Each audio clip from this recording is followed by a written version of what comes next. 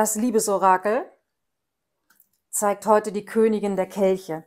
Heute bist du in der Energie der Kelchkönigin. Sie ist die Königin der Gefühle und Emotionen. Sie wird häufig als romantisch, wohlwollend und verständnisvoll beschrieben.